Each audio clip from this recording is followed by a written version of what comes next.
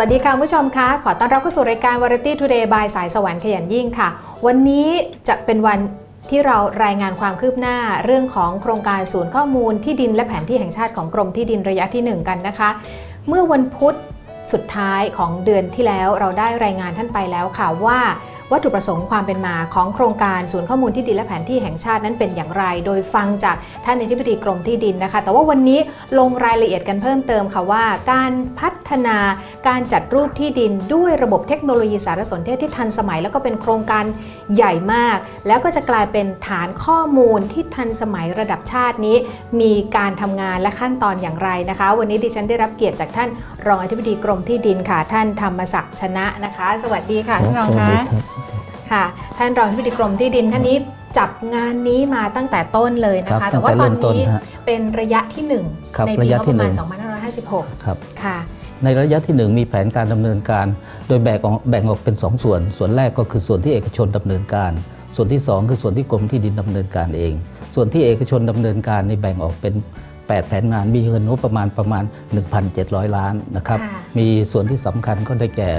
ส่วนที่นำเข้ารูปแปลงที่ดินนำเข้าการใช้ประโยชน์ และนำเข้าภาพลักษณ์ของเอกสารสิทธิ์ ส่วนที่กรมที่ดินดำเนินการก็คือส่วนที่ได้ปรับปรุงฐานข้อมูลทะเบียนที่ดิน ส่วนของการปรับปรุงระหว่างศูนย์กำเนิด และก็ปรับปรุงระหว่างแผนที่ต่างๆครับค่ะซึ่งสรุปแล้วก็มีทั้งหมด 14 แผนงานอ่าวงเงินงบประมาณทั้งหมด 2,000 ล้านบาทครับ ถ้าเราทำได้บรรลุผลตามเป้าหมายแล้ว ข้อมูลทั้งทั้งหมด ไม่ว่าข้อมูลทะเบียน ข้อมูลเอกสาร ข้อมูลภาพลักษณ์รูปแปลงจะเชื่อมโยงกันค่ะสามารถเข้าไปตรวจดูในระบบดิจิตอลได้ ในส่วนของของเทคโนโลยีเราก็มีส่วนหนึ่งที่เราปรับคือ คือสนับสนุนอุปกรณ์คอมพิวเตอร์ให้แก่สำนักงานสำหรับการเตรียมฐานข้อมูลค่ะอีกส่วนหนึ่งก็ใช้สำหรับการปฏิบัติงานอย่างแท้จริง เมื่อโครงการได้สำเร็จแล้วครับปี 2557 ประชาชนจะได้เห็นว่าภาพรวมของเอกสารสิทธิ์หรือข้อมูลต่างๆ ของของของทะเบียนที่ดินต่างๆ จะรวมอยู่ในแหล่งเดียวกัน สามารถเชื่อมโยงต่างๆ ได้ โดยเฉพาะฐานข้อมูล ต่างๆ ว่าใครมีกรรมสิทธิ์ที่ดินกี่แปลงก็สามารถตรวจสอบได้ โดยสามารถตรวจสอบจากจากทั้งรวมของของกรมที่ดิน ไม่ต้องไปตรวจสอบเวียนไปหนังสือต่างจังหวัดให้ตรวจสอบอีกแล้วครับค่ะใช้ที่ศูนย์กลางที่กรมที่ดินครับ ผลประโยชน์จากโครงการศูนย์ข้อมูลและแผนที่แห่งชาติเนี่ยจะทำให้ทุกภาคส่วนนะครับมีการบูรณาการเชื่อมโยงซึ่งกันและกัน จะเห็นภาพเลยว่า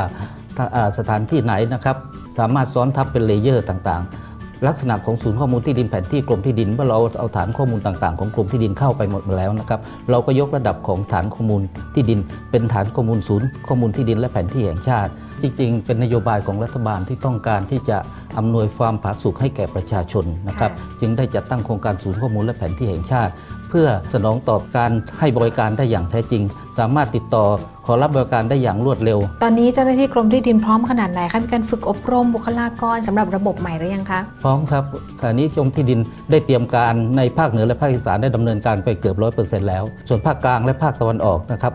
ภาคใต้ กำลังอยู่ระหว่างการดำเนินการ ซึ่งใกล้จะเสร็จเรียบร้อยแล้วเหมือนกันนะครับอันนี้จะเป็นผลที่ส่งให้โครงการนี้สำเร็จเร็วขึ้นกว่าเป้าหมายที่วางไว้ค่ะวันนี้ขอบพระคุณท่านรองที่ดีเป็นอย่างสูงค่ะ